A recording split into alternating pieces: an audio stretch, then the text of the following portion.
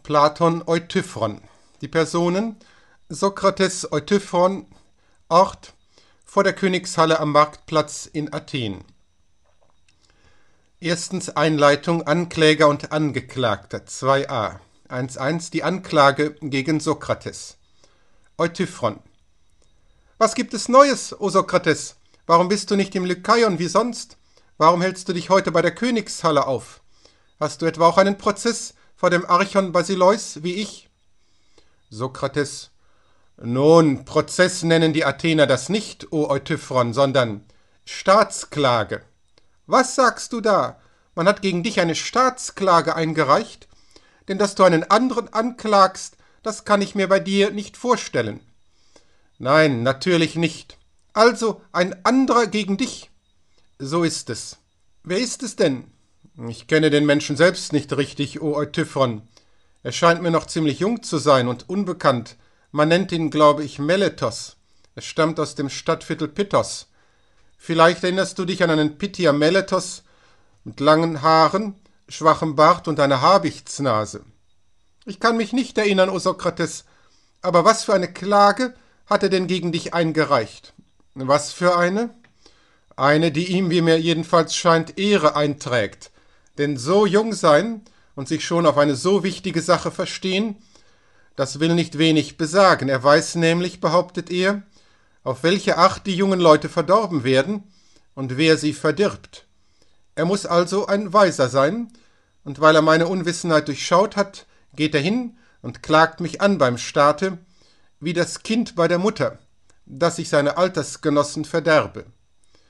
Damit scheint er mir als einziger seine politische Laufbahn richtig zu beginnen, denn er tut recht daran, sich vor allem darum zu kümmern, dass die Jugend möglichst gut wird. Wie es sich für einen richtigen Landwirt gehört. Der sorgt zuerst für die jungen Pflanzen, nachher für die anderen. So will wahrscheinlich auch Meletos zuerst uns ausrotten, weil wir, wie er behauptet, die nachwachsende Jugend verderben. 3a. Später will er auch für die Älteren sorgen, und so wird ihm die Stadt viele große Wohltaten zu verdanken haben, wie es bei einem Manne zu erwarten ist, der seine Sache auf solche Weise beginnt. Meinetwegen soll es so sein, o Sokrates, aber ich fürchte, das Gegenteil könnte eintreten, denn mir scheint, er will so recht den Staat von Grund auf schädigen, wenn er versucht, dir ein Unrecht anzuhängen. Wie und wo sollst du die Jugend denn verderben? Es ist merkwürdig, mein Bester, wenn man es so hört.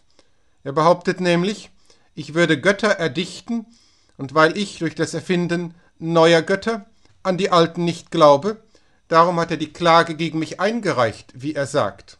Ich verstehe, O Sokrates, offenbar weil du behauptest, dass du immer wieder deine göttliche Stimme hörst.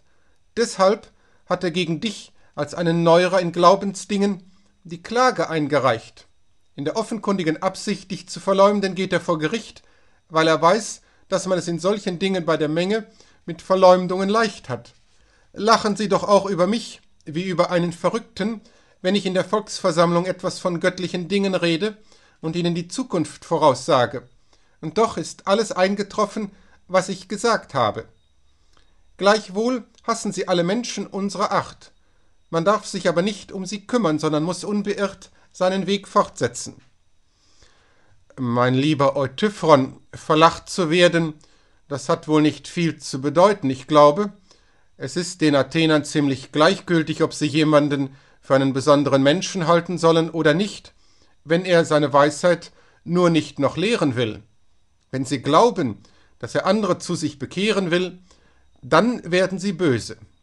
Entweder geschieht es, wie du meinst, aus Missgunst, oder aus einem anderen Grund.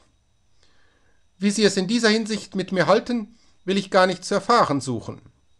Vermutlich machst du dich eben selten und willst mit deiner Weisheit nicht den Lehrer spielen. Ich aber fürchte, durch meine Menschenliebe bei Ihnen den Eindruck zu erwecken, ich wollte alles, was ich weiß, jedem ausführlich erzählen, und das nicht nur unentgeltlich, sondern so, dass ich gerne noch etwas hinzugebe, wenn mir nur einer zuhören will.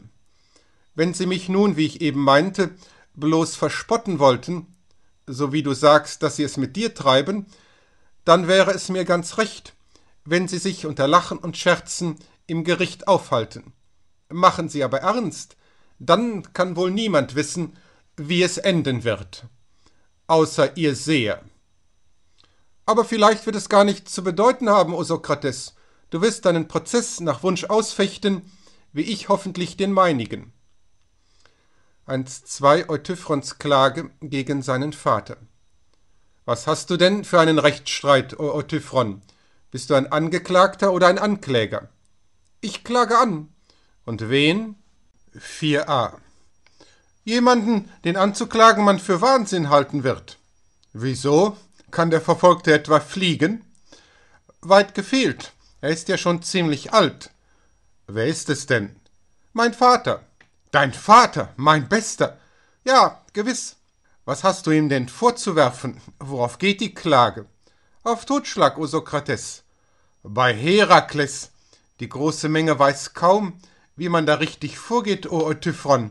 In solchem Falle richtig zu handeln ist, glaube ich, nicht jedermanns Sache. Man muss es in der Weisheit schon weit gebracht haben. Ja, bei Zeus, wirklich, sehr weit, O Sokrates. Es ist doch sicher ein Verwandter, der durch deinen Vater den Tod gefunden hat. Das ist wohl selbstverständlich, denn für einen Fremden würdest du ihn doch nicht wegen Totschlags anklagen. Lächerlich ist es, O Sokrates, wenn du meinst, es mache einen Unterschied, ob der Getötete ein Fremder oder ein Verwandter ist. Muss man nicht einzig darauf achten, ob ihn der Täter zu Recht umgebracht hat oder nicht?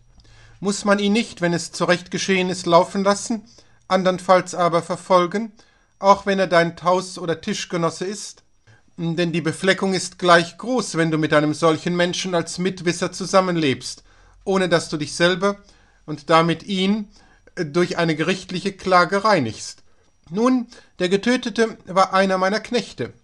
Als wir auf Naxos noch Land bebauten, arbeitete er dort als Tagelöhner bei uns. Als er betrunken war, geriet er in Wut über einen unserer Sklaven und erschlug ihn. Da band ihn mein Vater an Händen und Füßen fest, warf ihn in eine Grube und schickte jemanden hierher nach Athen, um bei einem Anwalt der heiligen Rechte zu erfahren, was er tun sollte. In der Zwischenzeit ließ er den Gefangenen einfach liegen. Er kümmerte sich nicht um ihn und sagte, er sei doch ein Totschläger, es mache nichts, wenn er auch umkomme. So passierte es denn auch. Denn vor Hunger und Kälte und auch wegen seiner Fesseln stirbt er, bevor der Bote vom Anwalt zurückkommt. Eben das empört nun meinen Vater und die übrigen Verwandten, dass ich ihn wegen dieses Totschlägers des Totschlags anklage. Sie alle behaupten, er habe ihn ja gar nicht umgebracht, und selbst wenn er ihn umgebracht hätte, brauche man sich wegen eines solchen Menschen keine Gedanken zu machen, da der Verstorbene ja selbst ein Totschläger gewesen sei. Sie verstehen sich eben schlecht auf göttliches Recht, o Sokrates, und wie es sich mit fromm und unfromm verhält. 1.3 Euthyphrons Erfahrung in göttlichen Dingen. Aber beim Zeus, o du mein Eutyphron, glaubst du dich denn so genau auf das Göttliche, auf das Fromme und Unfromme zu verstehen, dass du bei diesem Gang der Geschichte wie du ihn beschrieben hast, nicht fürchtest, du könntest selber etwa auch deinerseits wieder eine unfromme Tat begehen, wenn du deinen Vater vor Gericht ziehst? Dann wäre ich ja gar nichts wert, o Sokrates, und Eutyphron würde sich durch nichts von den gewöhnlichen Menschen unterscheiden, wenn ich mich nicht ganz genau auf alle derartigen Dinge verstünde. 5a. So ist es denn für mich, bewundernswerter Eutyphron, das Beste, ich werde ein Schüler von dir. Damit fordere ich noch vor meinem Prozess den Meletos zu einem Vergleich auf. Ich sage einfach, ich hätte es mir auch früher schon sehr angelegen sein lassen, über die göttlichen Dinge Bescheid zu wissen. Wenn er aber behauptet, ich würde unbesonnen handeln, da ich in Dingen des Glaubens Neuerungen einführe, so sage ich, dass ich dein Schüler geworden bin. Wenn auch du der Ansicht bist, Meletos, würde ich fortfahren, dass Eutyphron in diesen Dingen ein Weiser ist, dann nimm an, dass auch ich richtige Ansichten habe und ziehe nicht mich vor Gericht. Andernfalls bringe deine Klage lieber gegen ihn, den Lehrer, vor, als gegen mich, denn er verdirbt die alten Leute, mich und seinen Vater, mich durch seine Lehre, den anderen durch Tadel und Strafe. Wenn er mir nun nicht glaubt und nicht von seinem Prozess ablässt, und statt meiner nicht dich anklagt, so werde ich vor Gericht dasselbe sagen, was ich ihm zum Vergleich vorgeschlagen habe. Ja, beim Zeus, o Sokrates, wollte er es wagen, gegen mich eine Klage einzureichen, dann würde ich seine schwache Stelle schon ausfindig machen, glaube ich. Es würde sich dann vor Gericht vielmehr um ihn als um mich handeln. Zweitens, was ist Frömmigkeit? 2.1. Erste Definition, was ich gerade tue. Gerade weil ich das weiß, mein lieber Freund, will ich dein Schüler werden. Ich sehe, dass niemand, auch Meletos nicht, sich einbildet, er sei über dich im Klaren. Mich dagegen hat er mühelos so scharf durchschaut, dass er mich wegen Gottlosigkeit anklagen konnte. Nun aber, beim Zeus, sage mir, was du gerade so genau zu wissen vorgegeben hast. Was versteht man nach deiner Ansicht unter Gottesfurcht und Gottlosigkeit, also unter fromm und unfromm? Was heißt das beim Totschlag oder auch bei allem anderen? Bleibt nicht bei jedem Handeln das Fromme sich selbst gleich, wie auch das Unfromme zwar allem Frommen entgegen, sich selbst aber gleich ist? Ist nicht alles, was unfromm sein soll, in seinem Unfrommsein gewissermaßen von einer Gestalt? Genau so ist es, o Sokrates. So sage denn, was ist nach deiner Meinung das Fromme und das Unfromme? Nun, ich behaupte, fromm ist das, was ich gerade tue, das heißt, den Übeltäter verfolgen. Sei es wegen Totschlages, wegen Tempelraubs oder was er sonst gesündigt haben mag, auch wenn es der Vater oder die Mutter oder wer sonst immer sein sollte. Ihn nicht zu verfolgen, das ist unfromm.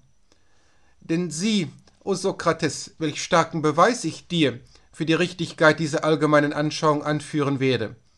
Auch anderen habe ich schon gesagt, dass es richtig sei.